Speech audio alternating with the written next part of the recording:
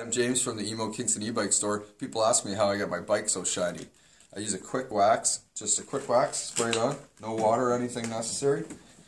Wipe that stuff on, let her dry for a sec. Give it a good wipe down with another cloth, nice dry cloth, and you got a nice shiny bike.